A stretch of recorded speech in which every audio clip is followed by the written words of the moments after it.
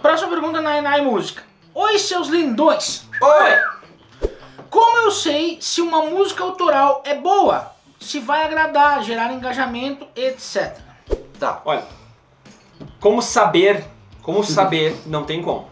Não tem como tu antecipar uma música que vai dar certo, que vai colar. Seja numa parcela pequena de, de pessoas, seja em em muita gente. Partindo do princípio se é boa pro público. Exato, Né? porque a primeira coisa que a gente precisa entender é que não existe. Assim, gente, né? Não quero falar que não existe música boa. Não, existe música ruim, existe música boa. Não vou entrar Sim. nesse mérito. Mas, é, muitas vezes as pessoas elas colocam música ruim, elas, elas se relacionam a música ruim ou a música boa ao seu gosto. Então, pra quem produz conteúdo, pra quem faz música, Pra quem é compõe, pra quem profissional. é profissional, não tem muito essa da música boa ou música ruim.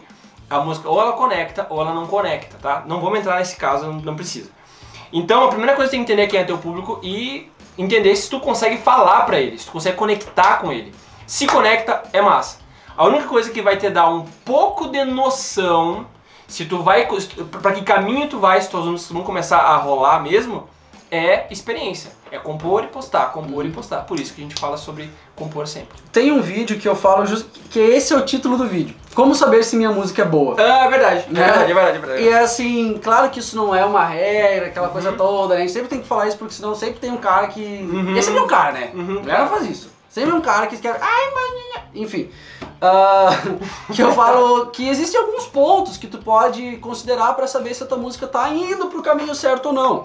E uma delas é se tu consegue resumir a ideia toda da tua música em uma única frase, ou seja, isso é pra trazer clareza pra tua composição, pra mensagem da tua composição.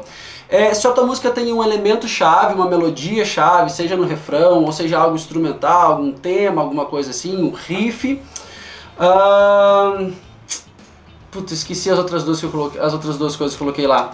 A gente vai deixar o link aqui embaixo também pra vocês assistirem o vídeo depois, mas é justamente sobre isso que eu falo. Como saber se a tua música é boa ou não. Se tu colocar assim, ó, música boa, novo artista, tu já vai Já vai aparecer. Aí. Maravilha. Próxima Próxima pergunta.